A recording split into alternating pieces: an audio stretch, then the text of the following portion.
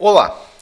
Como fazer projetos remotamente, ou seja, trabalhando em um estado, fazendo projetos para outro estado. Tá? Ah, eu trabalho com projetos estruturais para todo o Brasil e às vezes até para outros países. Já fiz alguns projetos para o Paraguai, também fiz projetos para Portugal.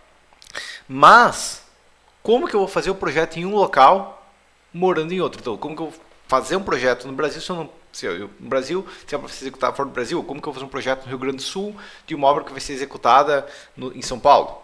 Ok? Primeira questão é que esse já é o padrão. Você faz o projeto de um local morando em outro.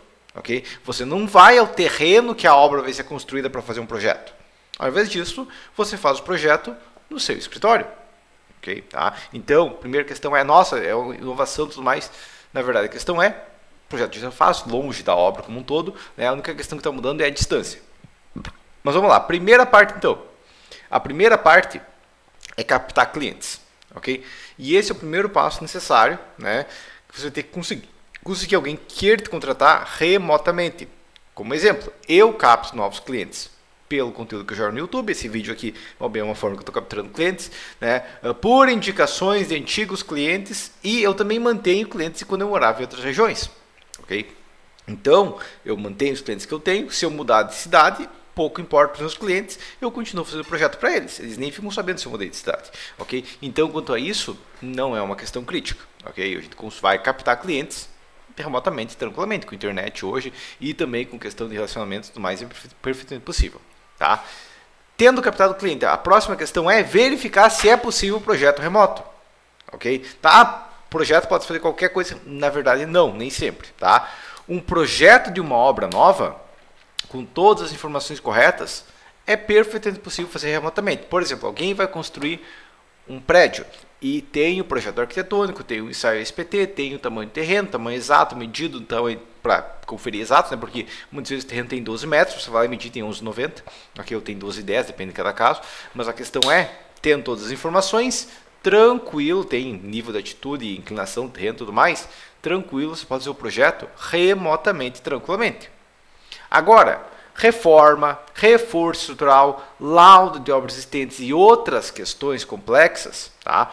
dificilmente vai você conseguir fazer sem ir no local, ok? Imagina que tem uma casa que foi construída na década de 50 e agora querem reformar ela, querem tirar uma parede, querem subir mais um andar, querem qualquer outra coisa, querem usar uma carga maior vai ser necessário ir no local para averiguar a estrutura, conferir a estrutura e verificar como que ela se comporta para verificar se é possível, ok? Tá? Deus, tá, mas então não tem como. Se alguém chega, se alguém chega para mim e fala, Gilberto, eu quero que você faça um laudo, uma perícia em uma obra existente. Tem uma obra, né, a gente quer colocar 20 toneladas a mais numa laje, a gente quer saber se pode ou não. Ou se for, se a gente vai colocar de qualquer jeito, o que, que precisa fazer de reforço para que não caia? Nesse caso, a não ser que o cliente tenha todos os detalhes, todos os projetos e tudo mais, eu vou ter que cobrar o deslocamento, ok? E eu cobro tanto o, a distância de um Se eu ter que pegar um voo e viajar mil quilômetros, eu tenho que cobrar a distância de voo e também o tempo que eu gasto nesse deslocamento, ok? Tá, mas é perfeito possível. Agora vamos para a próxima questão. Fechar o negócio, ok? Confirmou com o cliente, recebeu os arquivos remotamente e receber a transferência remotamente, Pronto, tá? Então, você vai fechar o negócio como? Você fala com o cliente, vamos fazer. Ele fala, a obra está fechada. Eu, beleza, me manda os arquivos, me manda o comprovante do Pix e eu começo a fazer o projeto. Ok? A gente está no século XXI, não faz ele enviar um pendrive com os arquivos, né? E eu transferir quantias. Vou o projeto, a entrada, sei lá, é 4, 5 mil reais, a pessoa vai me pagar esse projeto em dinheiro vivo? Dificilmente. Provavelmente ela vai fazer uma transferência de qualquer maneira, então nem precisa estar junto, junto comigo, né? Que eu posso apertar a mão pela internet, não precisa apertar a mão da pessoa realmente para fechar o negócio. Ok? A próxima etapa é realizar o projeto. Ok? E como você vai fazer? Do mesmo jeito que você já faz não muda nada. Você vai estar no seu escritório igualmente, você vai pegar os arquivos da obra igualmente, todas as informações da obra igualmente, dependendo do caso, tirar mais dúvidas, pegar mais informações com o cliente, né? mas vai fazer o projeto igualmente. Isso aqui não muda nada. Tá? Próxima etapa, para gerar RT. Você deve estar cadastrado no CREA do Estado. E aqui tem muitos engenheiros que têm dificuldade de entender isso. Mas a questão é, imagina que eu fiz um projeto no Rio Grande do Sul. A obra vai ser fabricada no Paraná e executada em São Paulo por uma equipe de Minas Gerais. Okay? Vamos piorar um pouco mais. E a fábrica lá do Paraná contrata mão de obra uh, do Sergipe, ok? Tá? E, e, o material que ela compra de Santa Catarina, ok? Onde que foi feito o projeto? Tá? Essa que é a questão.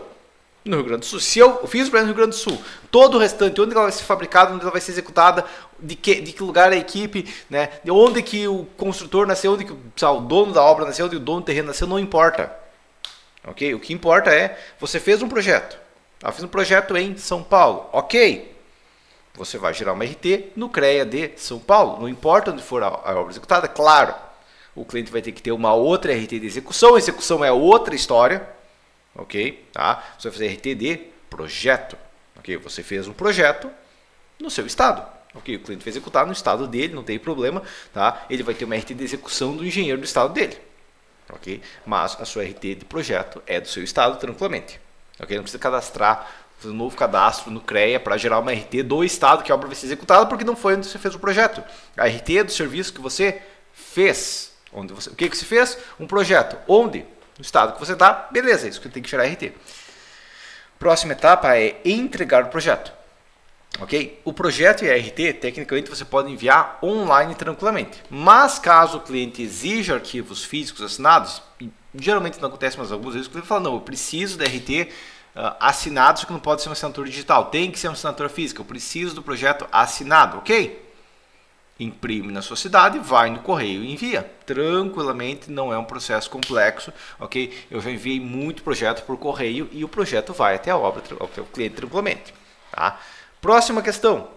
E a aprovação da prefeitura, Gilberto? Tem que fazer aprovação na prefeitura. Mas, primeira questão é: aprovação da prefeitura, eu, ok, eu peguei um projeto de uma casa, tudo mais, ok, é, geralmente começam com isso, então é comum ter essa questão do, da aprovação da prefeitura. Mas, projeto estrutural, projeto hidrossanitário, projeto elétrico ou qualquer outro projeto, exceto o arquitetônico ou executivo, não requer aprovação na prefeitura ok? Só o arquitetônico ou executivo, sim, e ainda assim só em obras urbanas, tecnicamente. Tá claro, a maior parte das obras são urbanas, mas a questão é que apenas em obras urbanas a gente vai precisar um, um cadastro na prefeitura, uma aprovação da prefeitura do projeto. Tá? Nesse caso, você faz o projeto e o cliente deve contratar outro arquiteto para ajustar o projeto pelas questões da prefeitura da cidade né, e aprovar o projeto da prefeitura ok? Tá? Mas a questão é,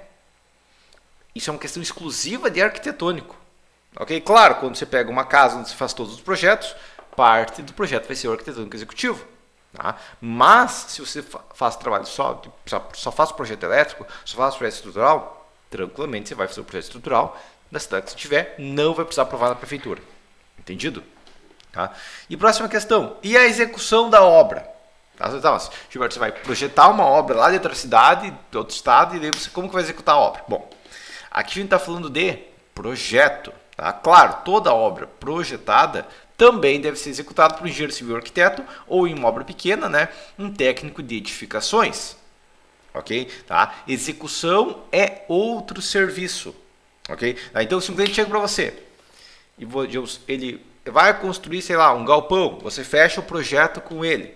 Tá? O que o dinheiro faz? Ele fecha só o projeto. Porque se eu chego cliente para mim, eu vou construir um galpão, é uma cidade próxima da minha, eu falo, ok, ok, vai custar tanto no projeto. E para mim executar, eu cobro tanto mais. Tá? E nas visitas tem incluso isso, isso e isso, depende do caso de opções, projeto, uh, orçamento de escadinha e tudo mais, mas a questão é que é um serviço vendido à parte. Entendido? Tá? Então, mesma questão aqui execução de serviço, ele pode contratar um engenheiro para executar a obra dele, na verdade ele vai ter que contratar um engenheiro, um arquiteto, um técnico de edificações, ou ele pode me contratar também. Mas a questão é, isso é um outro serviço. Tá?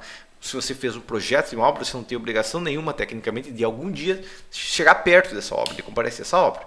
Tá? Você pode ir lá para verificar tudo mais, né? e até se for uma obra na cidade, é interessante você vá, mas a questão é, se o cliente quer que você auxilie na execução da obra, é um outro serviço. Se ele quer, se ele precisa que você visite a obra, é um outro serviço. Muitas vezes, inclusive, acontece de que eu fiz um projeto, o cliente contratou outro engenheiro para execução e ainda assim eu vou na obra conferir. Né? Seja o cliente quer ver alguma questão específica, algum problema, uh, ou ter algum ajuste para fazer na obra, né? ter alguma complicação, tudo mais. Isso tem que ser determinado. Muitas vezes o, o cliente final, né? muitas vezes eu sou contratado por uma empresa que vai executar a estrutura por uma outra pessoa, e daí o cliente final vai gostar de ter o engenheiro projetista lá, mas daí também é um serviço cobrado igualmente. Entendido essa questão? Tá? Então, você pode fazer projeto tranquilamente para qualquer local que você tenha um cliente, que ele te pagar tudo mais, não tem essa questão que você consegue projeto só na sua cidade ou só no seu estado. Não. Tá? O projeto pode ser feito em qualquer lugar. Tá? Claro, a partir do momento que você abrir um leque para o país inteiro, normalmente você vai ter, ter concorrência também com o país inteiro.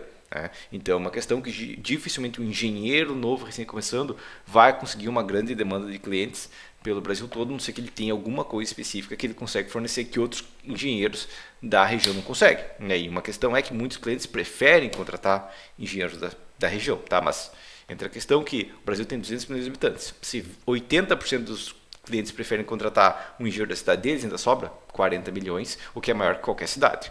Entendido? Mas, por enquanto, seria isso então, e até a próxima.